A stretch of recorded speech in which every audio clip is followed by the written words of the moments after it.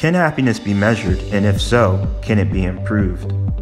The World Happiness Report aims to measure the state of global happiness. A groundbreaking survey started in 2012 and released at the United Nations International Day of Happiness. It uses six key drivers in measuring happiness family, freedom, generosity, trust, health, and economy. The survey data reveals the current state of happiness around the world for a given year. For example, we're easily able to see concentrations of happiness from 2015 and observe moderate shifts during 2016 and again observe shifts during 2017. By looking at the top rankings in a single driver, interesting observations are seen. For example, looking at economy alone, the United States would rank as the number one happiest country in the world.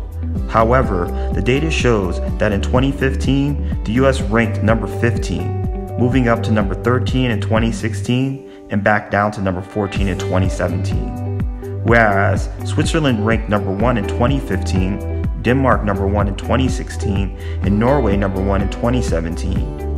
The survey results demonstrates the varying nature of the global state of happiness and shows that factors such as the preservation of nature contribute to the happiness in the case of Norway. Other factors such as the country's social and cultural climate or even lifestyles and values contribute to the overall happiness of a country. The World Happiness Report shows we are able to measure happiness on a global scale and offers a rich data set to allow countries and governments to explore happiness and its drivers in a way not possible before the report.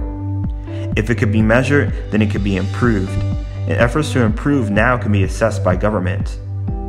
To explore the Happiness Report, visit happiness.report or follow them on Facebook and Twitter.